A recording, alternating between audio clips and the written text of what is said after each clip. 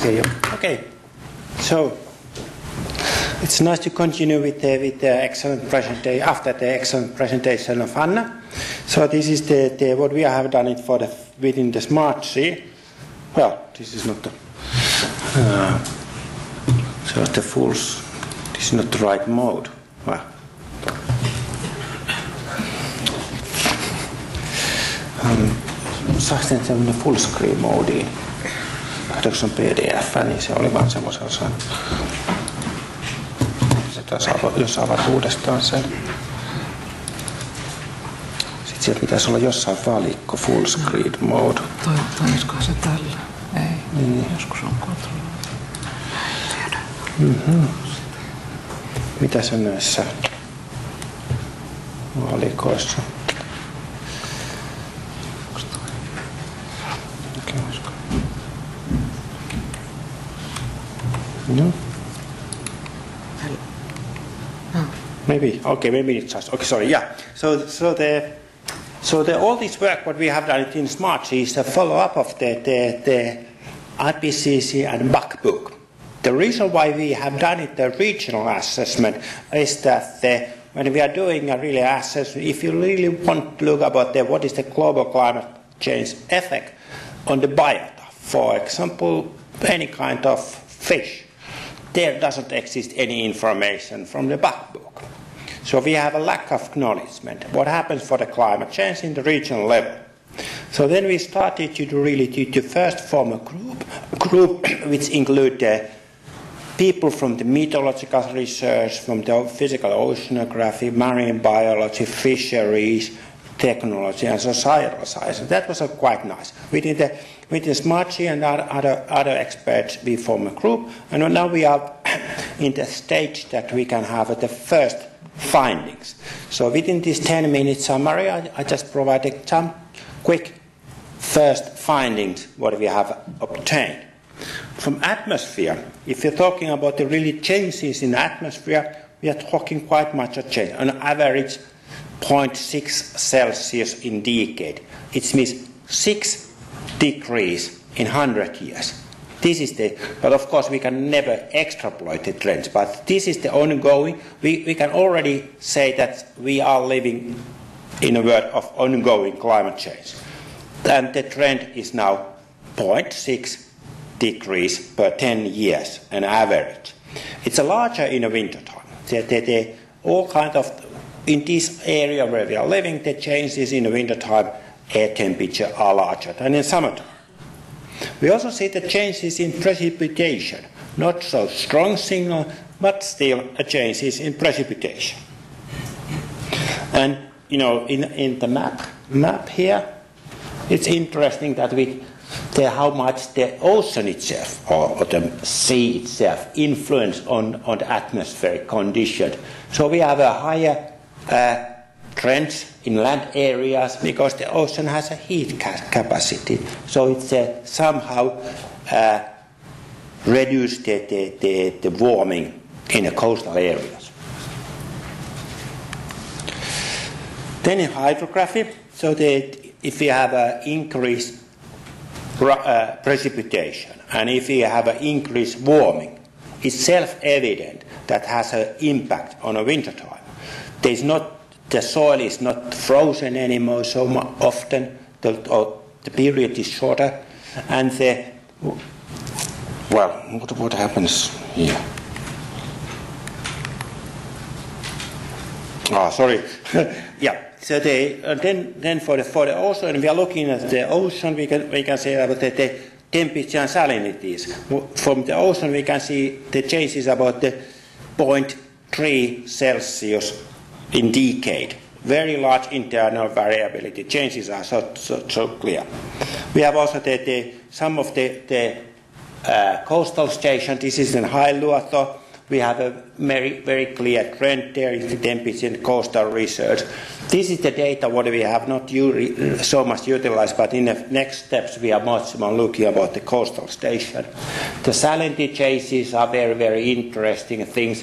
We can see that at the 90s, 60s, and 70s increase of the, the salinities. That was that there was more saltwater flow from the North Sea to Baltic Sea. And, and if there are any fishermen here in the room, maybe they remember that they got it caught also in the Bothnian Sea in the 1980s. Now there has been a, more like a decreasing trend or stabilizing trend in, in salinity. For ice, as Anna said, that it is a clear signal. We have at the, uh, in, in, if you're looking sea ice station in, in the Bay of Bothnia, in all stations we have consistent decreasing, decreasing trend in ice thickness. And we can also note that in 2015, that was the first time in, in all record that the central part of the, the Bay of Gulf Bay of Bothnia was ice-free for sure. We have a hundred, uh, 300 years proxy records of the ice extents in the Baltic Sea, and it seems that, that, that the 2015 was the first time when there was a, not ice in the central part of the Gulf Bay of Bothnia. For sea level, for, for sea level, we have uh, seen, of course, this long-term uh, uh, land uplift which is dominated. But if you are looking about the, the last uh, 20 years, we see that the trend has been changed. And that's the signal of the global sea level change. So what in the, but the, then we are talking about extremes. There is no really sign of the, if you're looking at the sea level extremes. So there's a lot of variability, but no, no trends. If you're going uh, and looking about the, the future, it seems that, these trends are continuing late, even it depends on the, the our policy. So the, we have here the two scenarios. Um, this one, red one is business as usual, and the blue one is about the, the Paris Agreement. If you can act in, but we can, it's it's pretty clear that the, if we cannot agree on uh, do the, the um, climate mitigation as, as, as agreed in Paris, then we are in, in a track that, that leads to the even 7 degrees warming in the winter time in the century. But in the summertime, 4, 4 degrees century. But we, even without the, the, the Paris uh, uh, agreement, so that we can have a quite much of changes. So in precipitation, we also have a quite much of changes, which have a, we will have a projection. We will change the, our future in. If you look about the, the, the ocean temperatures and salinities, this is the new results by, by the, the Swedish group showing that the, the largest SST changes in the Baltic Sea are also in, in the Bay of Bothnia but in, in a salinity changes will be about the, the one per mille. So the yeah. projected changes in, in ice conditions are, are something that the, the, the ice covered period will be shorter and ice will be thinner, but the ice, there, there still will be a, an ice in a, in a Bay of Bothnia. So in, even, even this is the highest scenario, emission scenario, we will have some, some ice in, uh, in um, end of the Bay of Bothnia. Projected change in sea level, that's maybe the, the, the good signal, so there will be not big changes because of the, the land uplift. So all, all the station in, in you know, along the, the Finnish and Swedish coast in the Bay of Bothnia, the, the, the land uplift will, will be dominated but it will be not, not so strong as, as in past.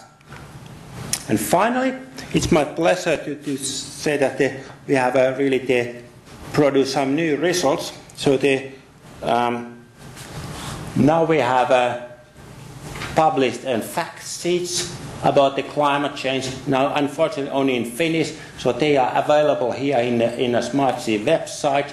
So there are specific fact sheets for, for for all kind of things about the, the air temperature, sea level, and fish, fish farming, for example. And then we have a summary table which summarizes what, what is expected changing for all the, the parameters. So please download these things, and uh, the, this could be a good uh, starting point of the, the, our discussion. Okay, I, I used my 10 minutes time already, so thank you very much.